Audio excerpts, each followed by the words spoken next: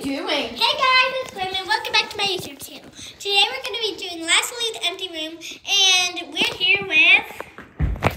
Say your name! Ben! And Lucy. Lucy and James. And Wait, Karen. wait, wait. Do me again. Do me again. And James wants me to do him again. Ah! I am so... I am... s- I am sorry, guys. Can we start it now? It is. It started. So now what do we want to do? We have to let do Wait, can we play hide? Wait, like when we're in this room, can we play hide and go seek? No. Oh, why? There's like no hiding spots in here. We have to stay in this room. We can't go anywhere in the house. Okay. Does the bathroom count? In the, The toilet you can't use Yeah. Why?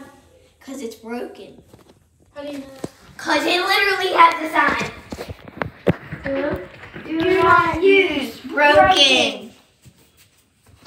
blue. Yes. Yes. Right here. Do not. Do not. Sorry, guys. Use broken. Do, not do not use use broken. broken. So we cannot use the toilet. That's a bummer. Yeah, so if you need to go to the bathroom, you're going to lose a life. Because we all have three lives, and we have, nobody has lost one yet.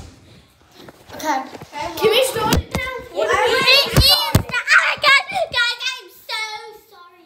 He's, you are so dramatic with your face. Um, Can we just